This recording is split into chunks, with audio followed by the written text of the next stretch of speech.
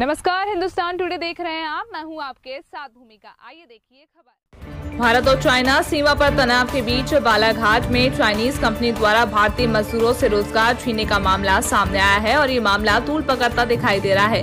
दरअसल बालाघाट ज़िले में भारत सरकार के उपक्रम मैगजीन और इंडिया लिमिटेड के लिए Chinese company China coal CC company काम कर रही है और इस चाइनीज़ से बहत्तर भारतीय मजदूरों का काम से निकाल दिया गया है। मजदूर पिछले एक साल से इस कंपनी के लिए अंडरग्राउंड शॉफ्ट निर्माण का कार्य कर रहे थे। बताया जा रहा है कि कंपनी ने लॉकडाउन और कोरोना का बहाना बनाकर कंपनी में काम बंद होने की बात कहकर इन मजदूरों को बिना कोई सूचना के निकाल दिया।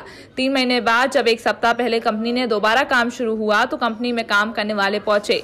इन मजदूरों को कोरोना संक्रमण का हवाला देते हुए काम पर वापस रखने से कंपनी के अधिकारियों ने साफ़ मना कर दिया।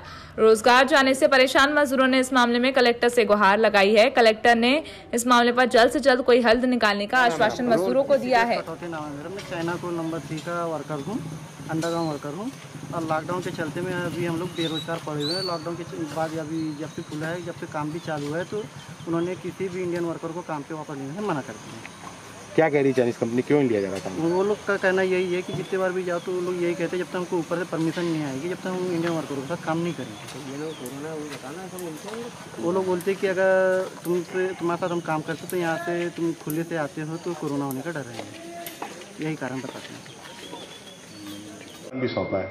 क्या कार्रवाई इस मामले में आप कर रहे हैं?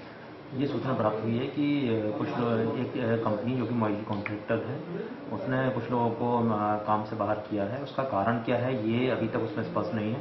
आ, ये सूचना जो कि कल ही प्राप्त हुई है तो इसमें एक बार कंपनी के प्रबंधन को बुलाकर उनसे चर्चा की जाएगी कारण क्या वो जाना जाएगा और जो भी आवश्यक कार्रवाई है उसका अनुसूर उसका अनुरूप की